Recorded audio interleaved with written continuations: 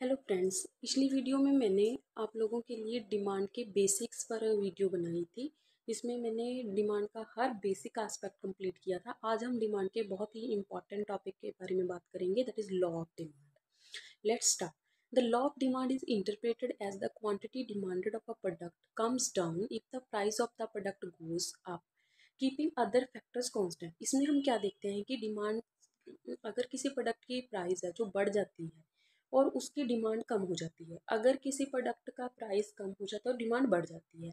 But उसके साथ हमें क्या है कि अदर बाकी सारे फैक्टर डिटर्मिनेंट्स हैं जो, वो सेम रहने चाहिए कॉन्स्टेंट उनमें कोई चेंज नहीं होना चाहिए। In other words if the cost of the product increases then the aggregate quantity demanded decreases अगर कॉस्ट बढ़ रही है तो टोटल एग्रीगेट मतलब टोटल डिमांड पर इफ़ेक्ट पड़ेगा। This is because opportunity cost of the customer increases that leads the customers to go for any other substitute और they may not purchase it तो इस तरह से एक छोटी कॉस्ट क्या आती है? जैसे मैंने दस रुपये का कोई पेन खरीदना है, ये पंद्रह रुपये का हो गया।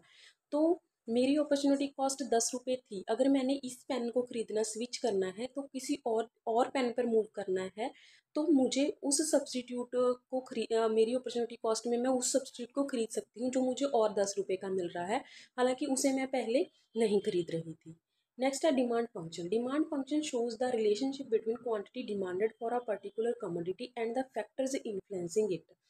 It can be either with respect to one consumer that is individual function or all consumer in the market that is market demand function. Function जैसे हमने पीछे demand कर demand पढ़ा था मार्केट डिमांड और इंडिविजुअल डिमांड दो तरह की की अब फ़ंक्शन भी इसमें दो तरह का होगा इंडिविजुअल डिमांड फ़ंक्शन और मार्केट डिमांड फ़ंक्शन इसमें हम रिलेशनशिप देखेंगे कि कोई भी क्वांटिटी डिमांडेड पर उसके फैक्टर का आपस में क्या रिलेशनशिप है। जैसे हम बात करते हैं पहले इंडिविजुअल डिमांड फ़ंक्शन की। इंडिविजुअल डिमांड फ़ंक्शन क्या है? फंक्शनल रिलेशनशिप है इंडिविजुअल डिमांड एंड जो भी उसे पर्टिकुलर कोई फैक्टर इफ़ेक्ट कर रहा है। जैसे हमने पहले प्राइस की बात की थी। प्राइस इफ़ेक्ट कर रहा है रिलेट पी आर जैसे हमारी रिलेटेड गुड्स का प्राइस क्या है? टेस्ट एंड प्रेफरेंस का क्या कंज्यूमर को इफ़ेक्ट पड़ता है? प्राइस पे कितना इफ़ेक्ट है? कंज्यूमर की इनकम कैसी है? बड़ी है या कम हुई है? Expectation of price change in future future में आने वाले टाइम में किसी पर्टिकुलर प्रोडक्ट की जो प्राइस है वो कैसे चेंज होती है? नेक्स्ट है मार्केट डिमांड फ़ंक्शन ये हमारे टोटल डिमांड पर किसी फ़ंक्शन का कैसी रिलेशन दिखाता है, इसमें हम वो देखते हैं। Market demand function refers to the functional relationship between market demand and the factor affecting market demand total total demand पर इनमें आपस में क्या रिलेशनशिप है? सारे फैक्टर्स वही आ जाएँगे। प्राइस इनकम एक्सपेक्टेशन कंज्यूमर की क्या है कंपोजिशन क्या है पॉपुलेशन का साइज़ क्या है, किस तरह की पॉपुलेशन है जो हमारी चीज़ें खरीद रही है, उनका पर्टिकुलर साइज़ का ग्रुप का साइज़ क्या है डिस्ट्रीब्यूशन ऑफ़ इनकम मार्केट में कैसी है, किसी कंट्री में लोग अमीर हैं, गरीब हैं तो उनके इनकम कैसी है कंज्यूमर की टेस्ट एंड प्रेफरेंस क्या है रिलेटेड गुड्स जैसे सब्सटीट्यूट और कॉम्प्लीमेंट्री गुड्स के प्राइसेस कैसे हैं सीज़न और वेदर कैसा है, किसी पर्टिकुलर सीज़न में जैसे सर्दी में विंटर क्लोथ की ज़रूरत पड़ती है कूलन क्लोथ की तो उन चीज़ों में सभी वो फ़ंक्शन हैं जो सारे इफ़ेक्ट करते हैं। नेक्स्ट है हमारा डिमांड स्केड्यूल जिस टेबल में हम पूरा इसको प्राइस और डिमांड को दर्शाते हैं। Demand schedule is a tabular statement showing various quantity of commodity being demand at various level of price during a given period of time जैसे एक पर्टिकुलर पीरियड ऑफ़ टाइम में किस लेवल पर हम कितनी चीज़ खरीदते हैं, उसको एक टेबुलर रिप्रेजेंटेशन देना, एक टेबुलर फॉर्म में बताना, वो हमारा डिमांड शेड्यूल होता है। It shows the relationship between price of commodity and quantity demanded ये क्या है? हमें एक उनमें रिलेशन दिखाएगा कि इतनी प्राइस पर इतनी चीज़ खरीदी जैसे पाँच पर एक ऐसे। इस इसको भी हम दो टाइप्स में डिवाइड कर सकते हैं। Individual demand schedule market demand schedule जैसे हमारा फ़ंक्शन था वैसे ही ये है। जब हम किसी एक व्यक्ति की बात करते हैं रिप्रेजेंटेशन में टेबलो रिप्रेजेंटेशन में एक कंज्यूमर की बात करते हैं उसका कि, किस प्राइस पे उसने कितनी चीज़ खरीदनी है कितने प्रोडक्ट खरीदने हैं वो हमारा इंडिविजुअल डिमांड फ़ंक्शन शेड्यूल होगा। जैसे प्राइस पाँच रुपये था तो क्वांटिटी ऑफ़ डिमांडेड वो कितनी खरीद रहा था? एक।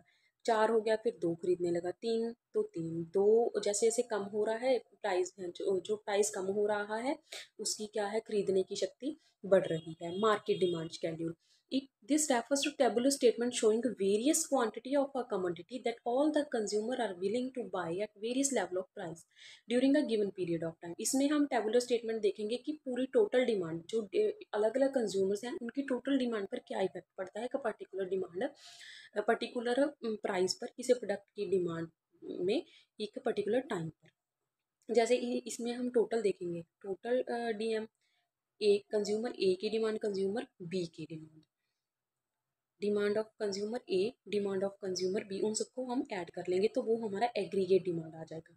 जैसे इनको ने household A household B लिया, जी हमारा प्राइस है, जैसे लगातार घट घट रहा है तो ए की डिमांड बढ़ रही है बी की भी डिमांड बढ़ रही है, जैसे पाँच रुपये में one plus two three commodities खरीदी, चार प्राइस हो गया तो दो प्लस तीन हो गया, ऐसे जैसे लास्ट में प्राइस एक हो गया तो कंज्यूमर ए ने हाउस होल्ड ए ने पाँच चीज़ें खरीदनी शुरू कर दी, इसने छः खरीदनी होंगे तो टोटल डिमांड मार्केट में किसी पर्टिकुलर प्रोडक्ट की कितनी होगी?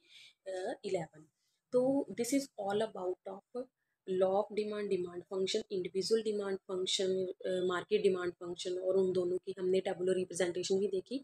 नेक्स्ट हम इसे और डिटेल में करेंगे, जो भी इसके लॉ ऑफ़ डिमांड के फ़ंक्शन बच गए हैं। तो आप वीडियो से जुड़े रहें और प्लेलिस्ट भी चेक करते रहें। उसको, उसमें आपको पिछली पुरानी वीडियोस हैं जो डिफरेंट डिफरेंट अदर टॉपिक्स पर हैं अदर सब्जेक्ट्स पर हैं, वो भी आप जाकर देख सकते हैं। Thank you